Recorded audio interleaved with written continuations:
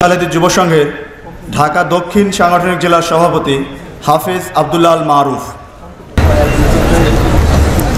السلام عليكم ورحمة الله وبركاته إن الحمد لله وحده والصلاة والسلام على من لا نبي بعده فأعوذ بالله من الشيطان الرجيم بسم الله الرحمن الرحيم وما أمروا إلا ليعبدوا الله مخلصين له الدين ইলা আখরিল আয়া।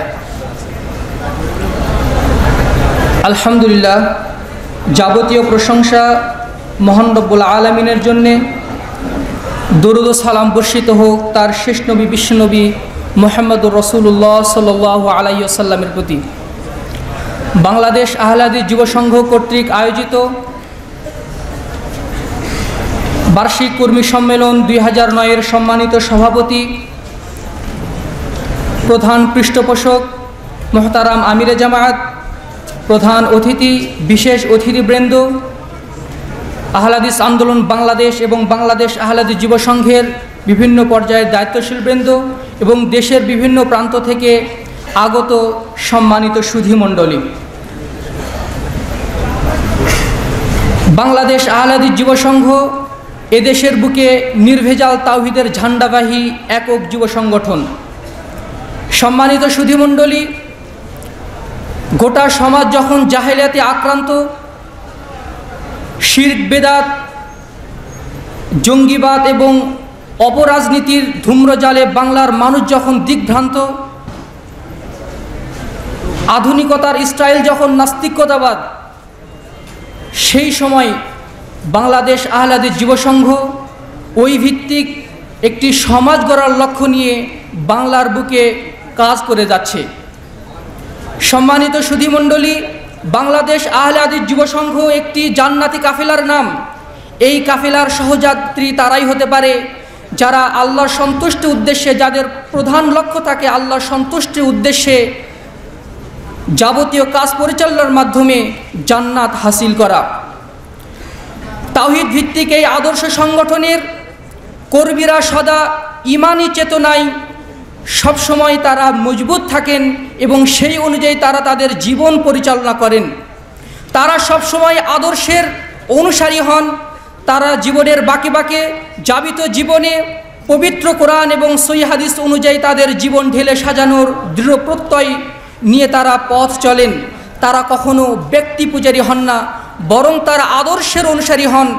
কারণ সময়ের পালাবদলে ব্যক্তি পরিবর্তন হয়ে যেতে পারে। কিন্তু আদর্শ যুগ যুগ ধরে চির অম্লান থাকে। যদি চলার পথে কখনো বিপদ আসে, এই নব্য জাহালিয়াতের যুগে ঝঞ্ঝা বিক্ষুব্ধ পরিবেশে যখন তারা কখন, কখনো যদি তারা কোনো পরিস্থিতির মোকাবেলা করে, তখন তারা ধৈর্যের পরিচয় দেয়। সম্মানিত উপস্থিতি, আমরা একজন সফল কর্মীর কয়েকটি গুণাবলী আলোচনা করতে চাই। বাংলাদেশ আহলাদের যুব সংঘের কর্মীদের যে গুণাবলীগুলো অর্জন করা দরকার তার মধ্যেও প্রধান করণীয় হচ্ছে, প্রধান বৈশিষ্ট্য হচ্ছে তাদের নিয়ত থাকবে পরিশুদ্ধ। পরিশুদ্ধ নিয়ত নিয়ে তারা সমাজ সংস্কারের কাজ করে যাবেন।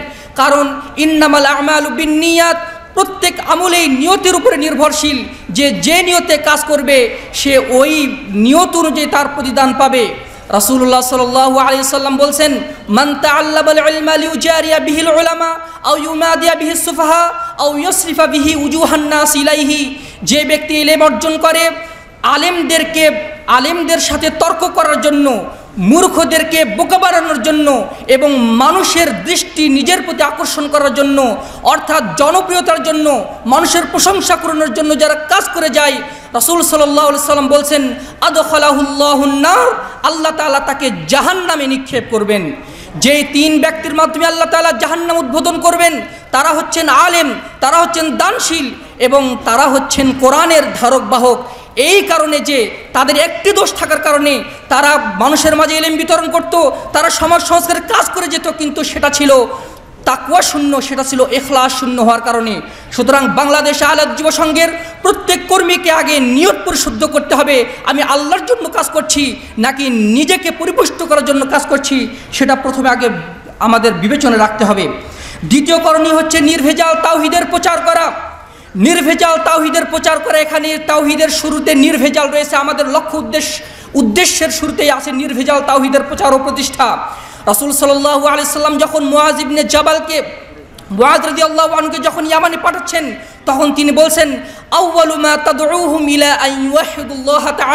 তুমি সর্বপ্রথম তাদেরকে দাওয়াত দিবে, তাওহিদের দাওয়াত দিবে। বাংলাদেশ আহলাদি যুবসংঘের প্রত্যেকটা কর্মী মানুষের আকিদার, মানুষের হৃদয় জগতের চিকিৎসা চিকিৎসক হিসেবে কাজ করবে। সমাজ থেকে যাবতীয় কুফরি এবং বেদাতি আকিদাকে বেদাতি আকিদাকে দূরভূত করে তারা নির্ভেজাল আকিদাকে প্রতিষ্ঠা করার চেষ্টা করবে। তাদের তৃতীয় নাম্বার গুণ হচ্ছে তারা গোপনে বরং প্রকাশ্যে তারা আল্লাহকে ভয় করবে। শুধু পোশাকের পরহেজগারিতা নয়, শুধু কথার বাচনভঙ্গির মাধ্যমে পরহেজগারিতা প্রকাশ করা নয়, বরং ভিতরে ভিতরেও পরহেজগারিতা থাকা আবশ্যক। রাসুল সাল্লাহ সাল্লাম বলছেন সালাসুল মুনজিয়াত, তিনটি গুণ মানুষকে মানুষকে মুক্তি দান করে। এক তাকুয়াল্লাহি ওয়াল আলানিয়া, প্রকাশ্যে এবং গোপনে সর্ব অবস্থায় আল্লাহকে ভয় করা। তাদের আরেকটি গুণ হচ্ছে তারা হকের পথে কষ্ট শিকারের জন্য সব সময় প্রস্তুত থাকেন। হকের পথে যারা চলে, তাদের কষ্ট অবশ্যই আসবে। জেল আসবে, জুলুম আসবে, অপবাদ আসবে, তহমত আসবে। কিন্তু যাবতীয় ভ্রগুটিকে হজম করার শক্তি, হজম করার প্রস্তুতি থাকতে হবে সম্মানিত উপস্থিতি। ধৈর্যের পরাকাষ্ঠা প্রদর্শন করতে হবে। উত্তম চরিত্র অধিকারী হতে হবে। দুশ্চরিত্রের মাধ্যমে কখনো, দুশ্চরিত্র নেতার মাধ্যমে কখনো আদর্শ প্রতিষ্ঠা করা সম্ভব নয়। সুচরিত্র সংসদের মাধ্যমে চেষ্টা করতে হবে। দিনের পথে কোনো নিন্দুকের নিন্দাকে পরোয়া করা যাবে না। রাসূল সাল্লাল্লাহু আলাইহি সাল্লাম নিন্দুকের যে বায়াত গ্রহণ করেছিলেন, লা নুখাফু ফিল্লাহি লাউমাতা লাইম, আল্লাহর পথে চলার জন্য কোনো নিন্দুকের নিন্দাকে আমরা পরোয়া করব না। যাবতীয় কুধারণা থেকে বেঁচে থাকতে হবে। দাওয়াতের তরিত ফল কামনা থেকে বিরত থাকতে হবে। এই বিজয় আমরা যে দাওয়াতের দাওয়াতের মিশন নিয়ে আমরা এই বাংলার বুকে কাজ করে যাচ্ছি, এই বিজয় আমাদের দুনিয়াতে যদি আসে, তাহলে সেটা আল্লাহর রহমত। যদি না আসে, এর প্রতিদান আমরা আমরা আখেরাতে পাবো ইনশাআল্লাহ। কিন্তু দুনিয়াতে যে আমরা পাবো, এই আশাটা সবসময় রাখা উচিত নয়। নেতৃত্বের আকাঙ্ক্ষী হওয়া যাবে না। বাংলাদেশ আলাদা যুব সংঘের কর্মীরা কখনো নেতৃত্বের প্রতি আকাঙ্ক্ষী থাকে না, কারণ নেতৃত্বের প্রতি লোভ মানুষের দিনকে কুরে কুরে ধ্বংস করে দেয়। মানুষের ব্যক্তিত্বকে ধ্বংস করে দেয়। হিংসা, অহংকার থেকে বেঁচে থাকতে হবে। সম্মানিত যুব সমাজ, আমরা কতদিন আর কুত্তরকে লিপ্ত থাকব? কতদিন আমরা আর অলসতার চাদরে আবৃত থাকব? আমাদের ঘর বাইর আজকেও আজকে বিজাতীয়দের যে দখলে চলে যে গেছে, আমাদের খাদ্যে, আমাদের প্লেটে আজকে হারামের কৃমি কিট কিলবিল করছে। কোথায় সেই জেহাদি জজবা, কোথায় সেই বালকোদার ডার্কেল বারিয়ার সেই আপোষহীন সংগ্রামী চতরা সুতরাং আসুন, আমরা আমাদের পাপ থেকে তৌবা করি, আল্লাহর দিকে ফিরে আসি, সমাজ সংস্কারে ব্রতী হই, সাথে সাথে নিজের চরিত্রকে সংশোধন করি। মহান আল্লাহ তালা আমাদেরকে যাবতীয় চারিত্রিক গুণাবলী অর্জনের মাধ্যমে সমাজ সংস্কার কাজের জন্য আমাদেরকে কবুল করে নিন। আল্লাহ আমিন। ওয়াহদান আলহামদুলিল্লাহ রব আলমিন। ওসালামু আলাইকুম রহমতুল্লাহ আবরকাত আলহামদুলিল্লাহ।